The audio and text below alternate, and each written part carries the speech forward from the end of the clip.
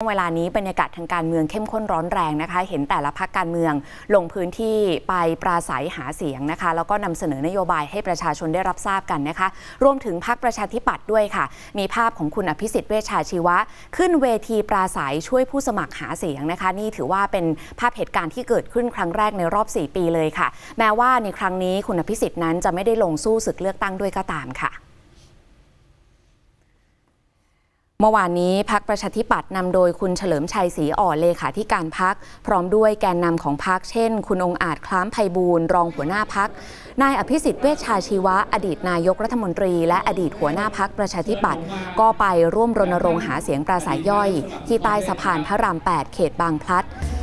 ก็ไปช่วยคุณชนินรุ่งรุ่งแสง ว่าที่ผู้สมัครสสกทม เขตบางพลัด เขตบางกอกน้อย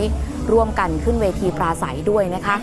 ที่น่าสนใจค่ะ คุณอภิสิทธิ์เองก็ขึ้นเวทีปราศัยช่วยสมาชิกของพักหาเสียงเป็นครั้งแรกในรอบ 4 ปี หลังจากที่ลาออกจากการเป็นสสเว้นวักงานการเมือง ท่ามกลางประชาชนที่มารอรับฟังการปราศัยจำนวนมากนะคะ คุณอภิสิทธิ์กล่าวปราศัยในช่วงหนึ่งว่าตนเองมาร่วมหาเสียงครั้งนี้ เพราะมีความผูกพันกับพักประชาธิปัตย์แม้ไม่ได้ลงเลือกตั้งในครั้งนี้ แต่ก็มาด้วยความเต็มใจและยังคงสนับสนุนพักประชาธิปัตย์พร้อมกับยอมรับว่าช่วงเวลา 4 ปีที่ผ่านมาค่ะ มีคนชักชวนให้ไปอยู่พักอื่น หรือว่าไปตั้งพัก แต่ตนเองก็ไม่ได้ไปไหน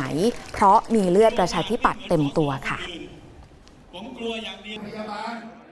เวลาใครคิดจะมาชวนผมเนี่ย แล้วไปถามปรึกษาว่าจะมาหาผมยังไงดี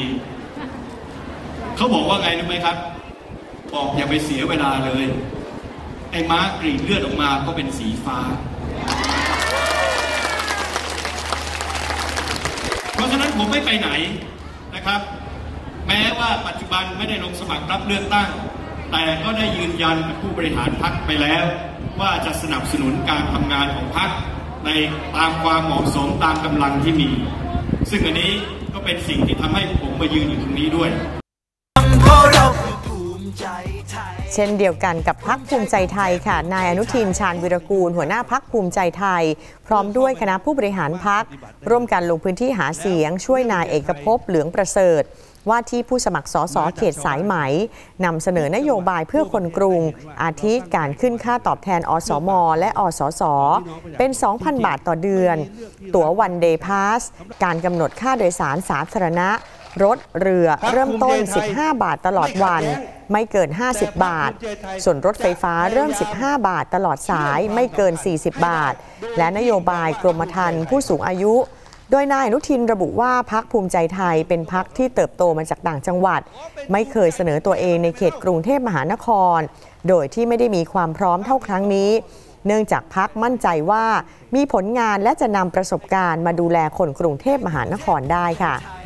ขณะที่พักเพื่อไทยนำโดยนายแพทย์ชนน่านสีแก้วหัวหน้าพัก และนางสาวแพทองทานชินวัตรหัวหน้าครอบครัวเพื่อไทย รวมถึงคุณสมศักดิ์เทพสุทินและนายสุริยะจึงรุ่งเรืองกิจ ลงพื้นที่ไปที่จังหวัดปทุมธานีค่ะ เปิดตัวว่าที่ผู้สมัครสสปทุมธานีของพักทั้ง 7 เขต และนำเสนอนโยบายแก้ไขปัญหาเศรษฐกิจ การดูแลยกระดับชีวิตประชาชน โดยเฉพาะการแก้ไขปัญหาหนี้สินตลอดจนกัดปรับปรามยาเสพติด ซึ่งที่ผ่านมาเคยประสบความสำเร็จมาแล้ว เมื่อครั้งรัฐบาลพักไทยรักไทย ขณะเดียวกันได้ย้ำเป้าหมายแลนสไลด์ในจังหวัดปทุมธานี ด้วยการให้ประชาชนลงคะแนนในบัตรเลือกตั้งสองใบเลือกทั้งคนและเลือกทั้งพักเพื่อไทย เพื่อให้ได้เข้าไปจัดตั้งรัฐบาลพักเดียวนะคะ ส่วนในวันนี้เวลา 13นาฬิกา30 นาทีจะต้องจับตาไปที่ศาลปกครองสูงสุด ซึ่งได้นัดไต่สวน 4 คดี ที่มีผู้ยื่นฟ้องขอเพิกถอนประกาศกกต เรื่องการแบ่งเขตเลือกตั้งสสไม่ชอบด้วยกฎหมาย ประกอบด้วยคดีที่นายอัธวิทย์สุวรรณพักดี รองหัวหน้าพักชาติพัฒนากล้า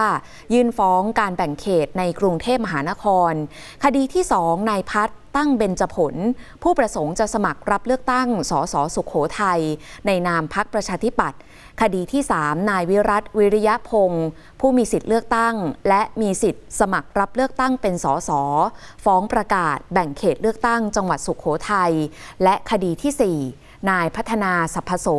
ผู้มีสิทธิ์สมัครรับเลือกตั้งเป็นสสฟ้องประกาศแบ่งเขตเลือกตั้งพื้นที่จังหวัดสกลนครค่ะ